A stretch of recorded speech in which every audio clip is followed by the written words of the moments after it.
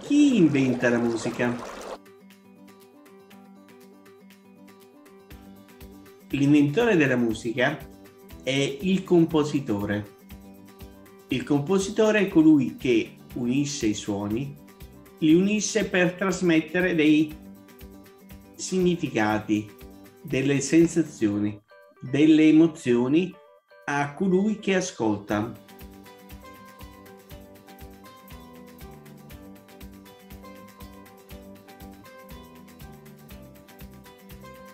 Ciao, al prossimo video.